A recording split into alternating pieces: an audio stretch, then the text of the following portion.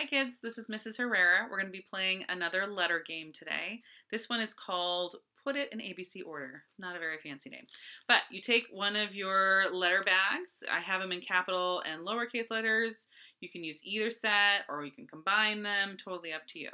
What you do is you take your baggie, you dump it all out on the floor or on a table or someplace that has some flat surface, and as fast as you can, you put them in ABC order, in alphabetical order.